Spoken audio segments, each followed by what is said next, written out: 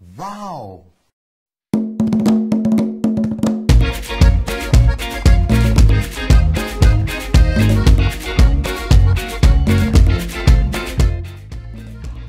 Hello guys this is Archana and आज मैं आई हूँ दुर्गापुर पेट स्मार्ट में और आज के इस वीडियो में मैं आप लोग को दिखाऊँगी कि डॉगी लोग का ग्रूमिंग कैसे होता है क्या क्या प्रोसीजर से होता है। और यहाँ पे ग्रूमिंग का फैसिलिटी अवेलेबल है तो आपके पास भी अगर डॉगी हो और आपको ग्रूमिंग कराना हो तो आप इस शॉप पे ज़रूर आ सकते हैं। So without wasting any time चलिए वीडियो को स्टार्ट करते हैं। तो आज जिस पर्टिकुलर डॉग ब्रीड का हम लोग ग्रूमिंग देखेंगे वो है लाजा और इसका नाम रोज़ी है।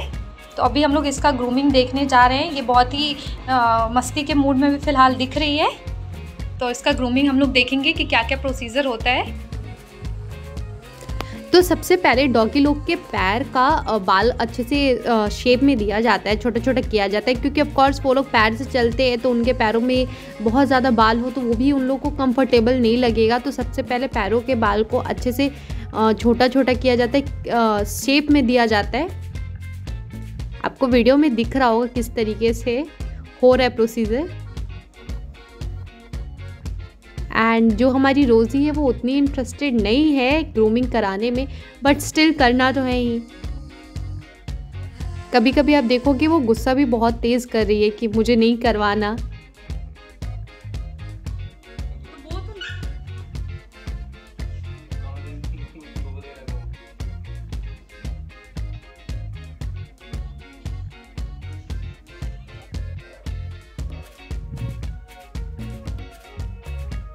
वो बहुत नाराज़ हो रही थी और इस प्रोसीजर के बीच में गुस्सा कर रही थी। तो आपको अपने डॉगी को ऐसे ही आपको उसको काम डाउन कराना पड़ेगा कि नहीं करवाना है उन लोग को अच्छे से ट्रीट आप करोगे तो वो लोग बैठ के करा लेंगे। उतना भी बहुत ज़्यादा प्रॉब्लम नहीं होता है। थोड़ा बहुत होता है बट बहुत ज़्यादा नहीं होता है। उसके बाद आपको वीडियो में दिख रहा होगा कि उन उन लोग के बाल फेस के बालों को छोटा किया जाता है। अगर आपका डॉगी इस तरीके का है जिनके फेस पे बहुत ज़्यादा बाल है तो फेस का बाल को छोटा किया जाता है ताकि उन लोग को प्रॉब्लम ना हो। अब जो ये डॉगी के ओनर थे वो नहीं चाहते थे कि इस डॉगी का बाल बहुत ज़्यादा छोटा हो।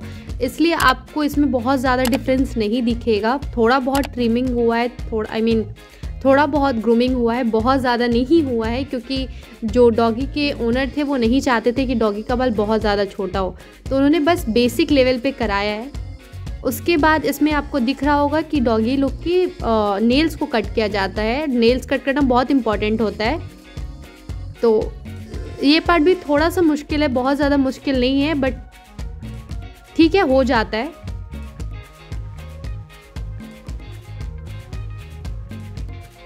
एंड उसके बाद जो डॉग लोग के पैर के नीचे के साइड का पोर्शन होता है, वहाँ पे भी बाल होते हैं तो उसको भी ट्रिमर की हेल्प से निकाला जाता है ताकि उन लोग को चलने में प्रॉब्लम ना हो।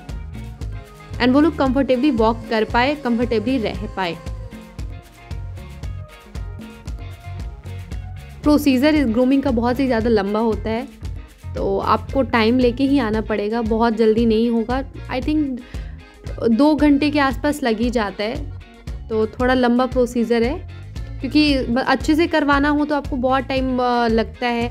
डॉगी लोग का पहले स्टार्टिंग में आपका कटिंग होगा, फिर शैम्पू होगा, फिर ड्राई होगा तो बहुत ज़्यादा प्रोसीजर होता है तो टाइम लगता है इसमें। बट स्टिल रोज़ी उतना भी डिस्टर्ब नहीं कर रही थी इस प्रोसीजर में। थोड़ा थोड़ा कहीं कहीं पे थोड़ा उसका एग्रेशन आ जा रहा था बट उतना ज़्यादा प्रॉब्लम नहीं कर रही थी। एंड अब आता है सबसे टफेस्ट पार्ट जो कि हम सभी जानते हैं, डॉगी लोग को नहाना बहुत मुश्किल होता है। मेरे पास खुद पास्ट में दो तीन डॉगी रह चुके हैं, उन लोग को नहलाना बहुत ही मुश्किल होता है। वो लोग मतलब बहुत प्रॉब्लम करते हैं नहाने के टाइम में। रोज़ी उतना नहीं करी है बट मेरे पास जो डॉग था, उसको नहलाने में हालत ख़राब हो जाता था, ऐसा कंडीशन होता था।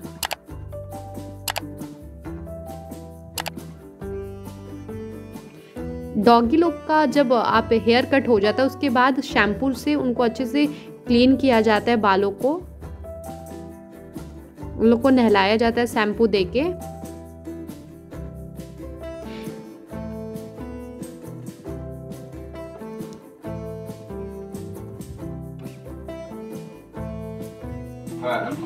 जैसे ये जैसे है, यहाँ पे अभी जैसे नॉर्मल ये बात हो रहा है, ये आपका नॉर्मल आपका मॉइस्चराइजिंग शैम्पू से कंडीशनर शैम्पू से आपका बात होगा।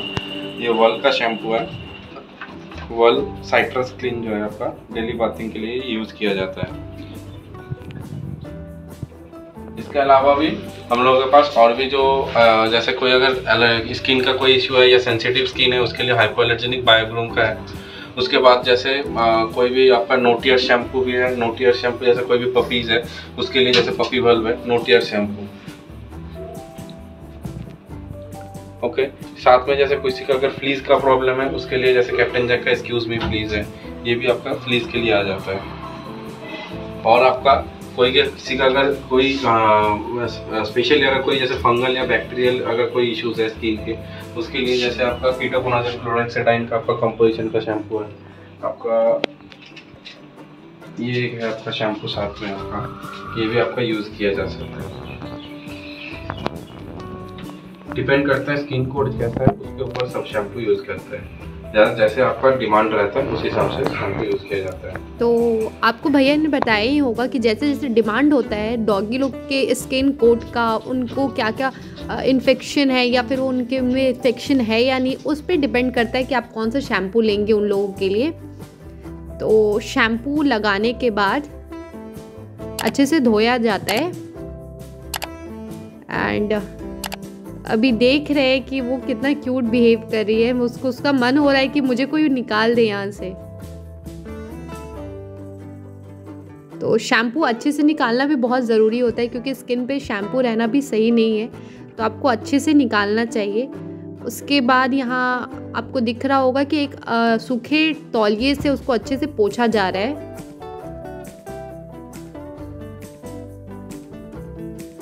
कि नेक्स्ट प्रोसीजर जो है वो ड्राइंग का प्रोसेस है तो अगर मतलब सही से अगर निकला रहे तो ड्राई करने में बहुत ईजी होता है। तो अच्छे से एक टावल को लेके पूरे उसके बालों को अच्छे से पोछा गया है। उसके बाद यहाँ ड्रायर की हेल्प से उसके बालों को सुखाया जा रहा है। ये पार्ट भी थोड़ा डिफ़िकल्ट था। एक दो बार रोज़ी उतर के बाहर निकलने लगी। उसको ये प्रोसीजर नहीं पसंद आ रहा था। ऑफ़ मतलब डॉगी अगर इतने देर किसी काम में इन्वॉल्व है तो उन लोग को भी अच्छा नहीं लगता है कि हाँ इतना देर मैं करवाऊँ। उन लोग को भी मतलब उतना वो लोग इन्जॉय नहीं करते हैं। क्योंकि ऑफ़ कोर्स मतलब उन लोग को क्या ही लेना देना, उन लोग को कोई मतलब नहीं है। ग्रूमिंग किया हुआ है, नहीं किया हुआ है। तो मतलब उन लोगों के लिए इतना सारा प्रोसीजर से गुजरना थोड़ा मुश्किल होता है।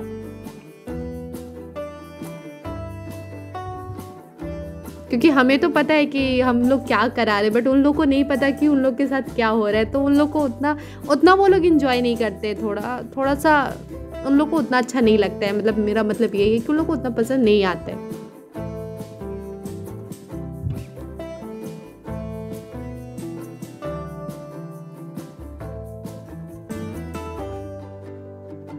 ओके okay, एंड बाल ड्राई करने में भी बहुत टाइम जाता है क्योंकि बाल अंदर तक मतलब डॉग लोग का अगर बाल लंबा हो तो अंदर तक ड्राई करना बहुत मुश्किल होता है थोड़ा टाइम जाता है। जैसे हम लोग का बाल ड्राई करने में almost fifteen to twenty minutes लगता है बट इन लोग में थोड़ा और उससे भी ज़्यादा लगता है।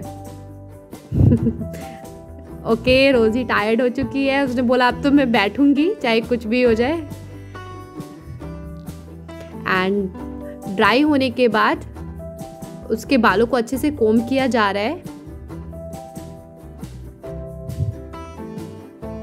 एंड फिर यहाँ पे यूज़ किया जा रहा है आपका dry conditioner dry conditioner in the sense कि जैसे हम लोग कंडीशनर लगाते हैं तो हम लोग कंडीशनर लगा के उसको धोते हैं. बट इस केस में सिर्फ़ आप कंडीशनर अप्लाई करके छोड़ सकते हैं. उसको ड्राई नहीं बोलना चाहिए. ड्राई कंडीशनर नहीं होगा. मीन्स कि ऐसा कंडीशनर जो मतलब लगा के आप छोड़ सको. तो ऐसा आता है डॉगी लोग का कि आप लगा के छोड़ सको. तो डॉगी का ग्रूमिंग हो चुका है. ऑलमोस्ट रोजी रेडी है। ओके यू कैन सी कितनी सुंदर हो गई है हमारी Rosie.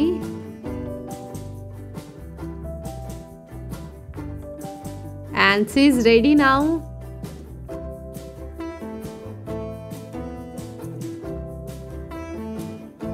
okay and last part अब डॉगी लोग का परफ्यूम लगाया जा रहा है ताकि उनके बॉडी से किसी भी तरीके का स्मेल ना आए।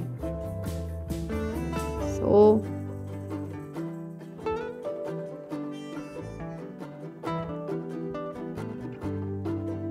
दैट्स फाइनल आपको रोज़ी का लुक दिख रहा होगा। कितनी प्यारी लग रही है।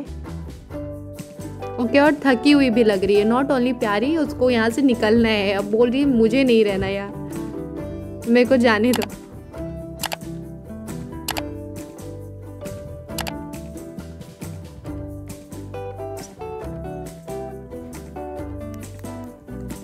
So hope you like my video do like share and subscribe to my channel अगर मेरा वीडियो आपको ज़रा सा भी पसंद आया हो तो मेरे वीडियो को ज़रूर लाइक कीजिएगा, ज़्यादा से ज़्यादा शेयर कीजिएगा एंड मेरे चैनल फ़ूड एंड लाइफ को ज़रूर सब्सक्राइब कीजिएगा, और आप देख रहे हैं कि रोज़ी हमारी रेडी है, सुंदर सुंदर बन के तो ये वीडियो आपको पसंद आया हो तो ज़रूर लाइक भी कीजिएगा एंड साथ ही मैं बोलना चाहती हूँ कि अगर आपको अपनी डॉग का ग्रूमिंग कराना है तो आप दुर्गापुर पेट स्मार्ट में आ सकते हैं एड्रेस विधान नगर में है। बाकी एड्रेस मैं आपको डिस्क्रिप्शन बॉक्स में दे दूँगी. Thanks for watching my video